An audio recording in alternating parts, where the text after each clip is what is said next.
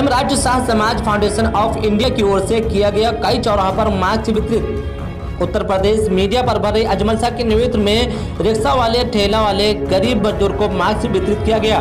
और अजमल शाह ने बताया कि प्रदेश अध्यक्ष इंजीनियर नजीम शाह के आह्वानी पर जुमा की नमाज़ के बाद दुआ की गई। अल्लाह इस कोरोना से महामारी देश के हिफाजत करे और फिलिस्तीन में मुस्लिम मासूम बच्चे और भाई बहनों की हिफाजत करे। इस मौके पर लाडली शाह, इलियास शाह, महताब शाह, साहिल शाह, बाबू शाह, मुख्तार शाह, अली शाह, अमित शाह जी शान शाह, अलताफ़ शाह, अब्दुल हमीद शाह, अब्दुल हक शाह आदि लोग मौजूद रहे। बाराइश से अजमल शाह की रिपोर्ट।